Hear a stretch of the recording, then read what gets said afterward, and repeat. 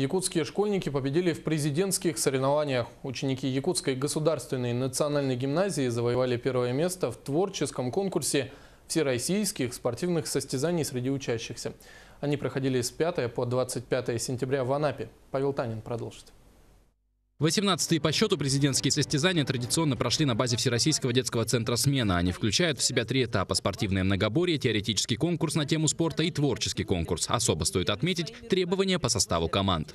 Дети из одного класса, с одной школы. Это не сборная школы, не сборная города. Да? Поэтому уровень детей разный. Для этого состязания не включают несколько этапов, чтобы каждый ребенок мог раскрыть свой потенциал. Якутию в этом году на соревнованиях представила команда 7 Б-класса Якутской национальной гимназии. В спортивном многоборье вырвать победу им, к сожалению, не удалось. В нем мы выложились на все 100 и Самой сильной командой по многоборью стала команда Республики Дагестан. Это касается и теоретического конкурса. Победить там дети из Якутии также не смогли, но взять золотые медали у ребят получилось в последнем по счету, но не по важности, творческом конкурсе. Темой была э, «Россия – Родина моя».